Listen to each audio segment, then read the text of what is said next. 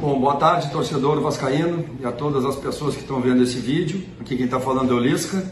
Estou passando aqui para me despedir de vocês, né, do clube, agradecer a todos, todos os funcionários, jogadores, colaboradores, em especial ao Alexandre Pássaro, né, gerente nosso, e ao presidente Jorge Salgado. Foram duas pessoas que eu tive o prazer de conhecer pessoalmente e vi como que eles são pessoas diferentes né, hoje nesse nosso meio de futebol.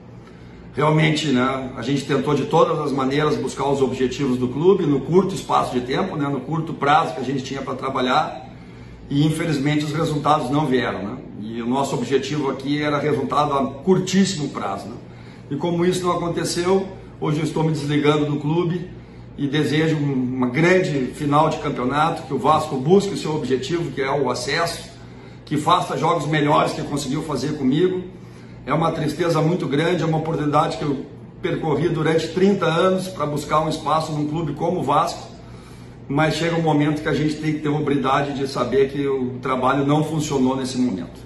Então, por isso, tomei essa decisão e estou aqui passando para agradecer a toda a torcida vascaína, a todos os colaboradores e já dentro de tudo aquilo que eu falei. Muito obrigado a todos, espero um dia poder, poder voltar a esse grande clube numa outra situação.